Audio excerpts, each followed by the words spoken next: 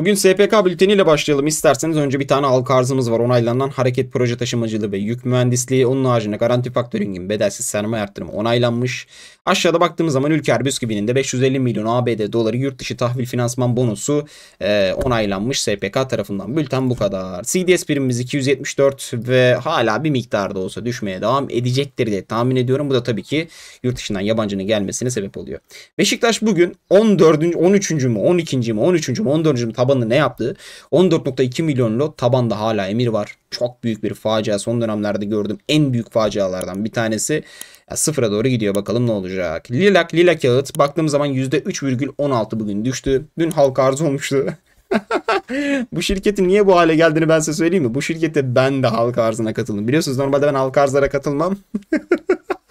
Bunun halka arzına katıldım o yüzden bu çakıldı. Koton bugün Buna da katıldım. Bugün tavan açmadı. Böyle bir bozdu bir şeyler oldu böyle bir sonradan toparladı yukarı aldı. Bunların da tek sebebi ben Fenerbahçeli olmam ama Fenerbahçeli'nin yüzü gülmez. Hiçbir şart ve koşulda gülmez. Bak halka arza girersin halka arz çöker. Takım tutarsın kazanamaz. Vesaire vesaire. Her şeyden son dakika eğlenirsin. Böyle ne bileyim e, en, en tepeyi yakalarsın en dibi yakalarsın. Yani şurada inanılmaz böyle bir ne bileyim e, ilgim, alakam, tecrübem olmasa gerçekten yani bir Fenerli olarak muhtemelen borsada tokatlanır giderdim.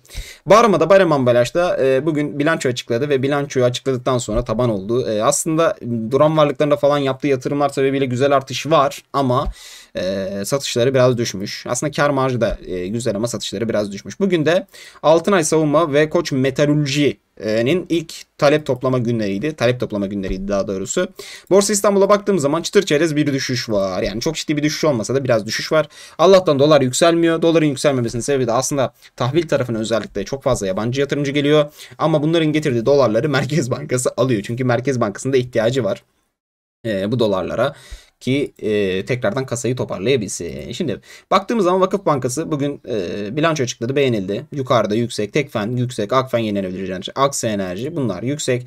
Onun haricinde Konya, Emlak Konut Gayrimenkul, İpek, Koza, Koza, Astor, Astor zaten kronik düşük. Bera bunlar düşen taraftalardı. Bankalar yine bugün sallantıda bir git gel çık in vesaire. Peki kimler aldı kimler sattı? Şimdi Bank of America bayağıdır bir ezmeye çalışıyor piyasayı. Şimdi benim kulağıma bir duyumlar geldi. Bir yerlerden duydum. Yani duydum yani bilmiyorum kesin değil ama Bank of America tarafında Viop'ta short işlem açtıkları ve bu açtıkları short işlem sebebiyle piyasayı çakmaya çalıştıkları ama karşılarında HSBC'nin çıktığını ve HSBC'de gerçekten 1.1 milyar TL alım yaptı.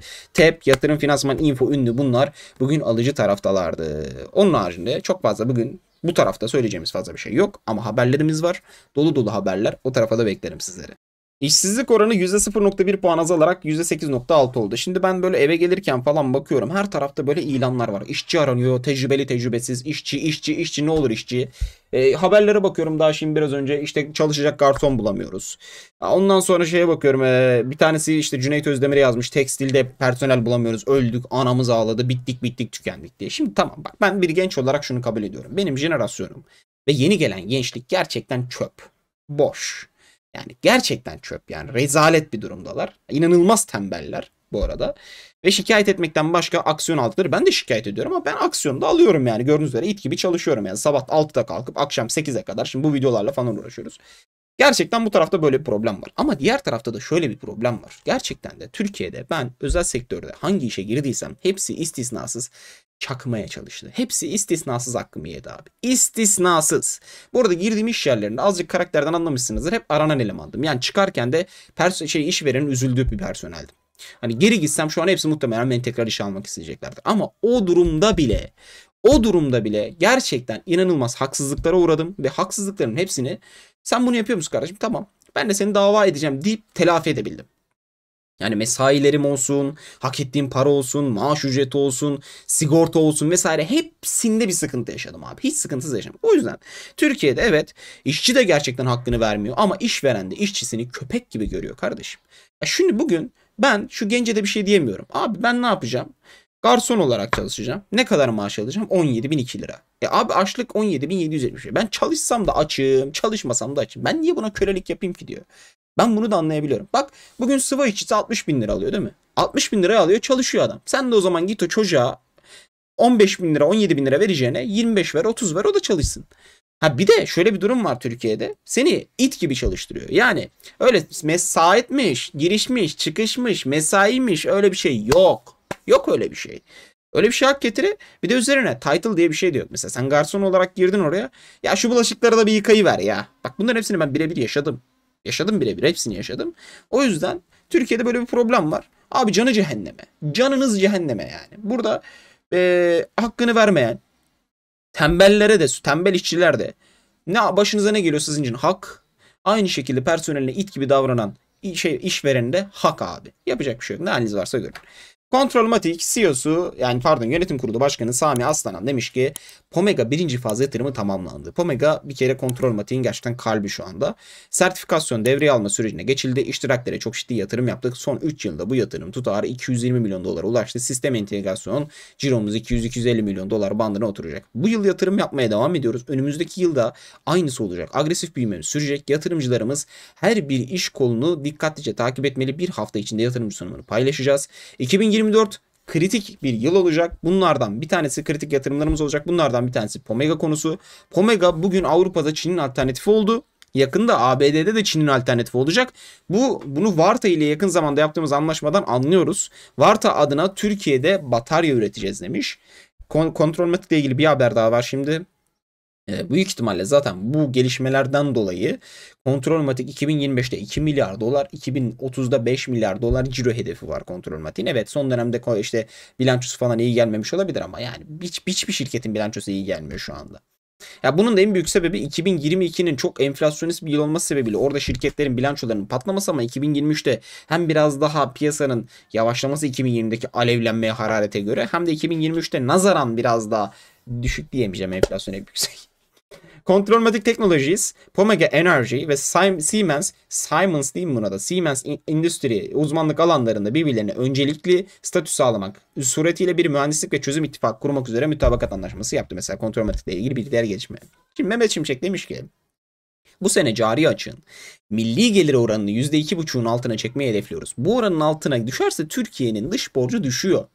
İkincisi Türkiye'nin rezerv pozisyonunu iyileştirmek için bir fırsat sunuyor demiş. Şimdi ikinci paragraf kritik. İç talebin büyümeye katkısı hala güçlü ama iç talep bir miktar daha yumuşayacak. Yani sıkılaşacağız. Halk olarak sıkılaşacağız. Nasıl sıkılaşacağız? Az yiyeceğiz, yağlarımızı eriteceğiz, sıkı bir vücuda sahip olacağız. İhracatçılar için pazar büyüyecek, esas olan rekabet ve verimliliği arttırmak, faiz ve kur sübvansiyonuyla bir yere varamayız. Bunu gördük diyor. Yani burada önceki ekonomi yönetimine ve o ekonomi yönetimini işe getiren şimdi ben ortalığı karıştırmayayım. Ee, oraya bir söz söylüyor. Yani bak siz üzerimizde bir deney yaptınız. Bu deney başarısız diyor. Kamu maliyesine ilişkin birçok hususta adım atacağız. Pazartesi günü Cumhurbaşkanı yardımcımız ile birlikte tasarruf verimlilik paketini açıklayacağız. Bu ilk ama son olmayacak. Buna benzer yaptığımız çalışmalar var. Dezenflasyon programını güçlendirmeye yönelik çalışmalarımızı aralıksız devam ettireceğiz. Bakalım. Pazartesi günü iple çekiyorum. Bu e, tasarrufla ilgili söyledikleri açıklamalar bakalım samimi mi yoksa göreceğiz. Geri kalanını göreceğiz. Sermaye arttırımları var. Türkiye sigorta %330. Exxon Gıda %757 tavan oldu Exxon Gıda. %300 Reysaç taşımacılık bedelsiz sermaye arttırımı kararı aldılar. Sosyal Güvenlik Kurumu kurumu ne yapmış biliyor musunuz? Muayene ücretlerine %50. Radyoloji, RT, PET, LAB'a %60, kan ürünlerine %50, normal doğuma %60, yoğun bakım, nakil ve diğer paketlere %60 ve muayene ücretlerine de %50 artışı yapmış. Yani zam, fiyat güncellemesi falan. Sanayi üretimi Mart'ta aylık bazda %0.3 düşerken yıllık bazda %4.3 artış gösterdi. Sanayi üretimindeki düşüş, işsizlik rakamları, PMI verileri vesaire piyasanın bize yumuşayıp yumuşamadığını, öyle söylüyorlar, yumuşayıp yumuşamadığını gösterecek. Temettü ödemelerine baktığımız zaman Türkiye sigorta 29 Ağustos'ta brüt %1.24, net 0.77 TL temettü ödemesi. Art yazılım çok kritik. 3 Temmuz'da hisse başına net 0,02 TL ve brüt %0,04 TL temettü ödemesi yapmış. Şimdi ben burada kararsız kaldım. Gün içerisinde çok kafa yordum buna. Ee, yorumlara yazarsanız sevinirim. Şimdi ben buradan gelecek bu parayla ev mi alayım? Arabamı alayım?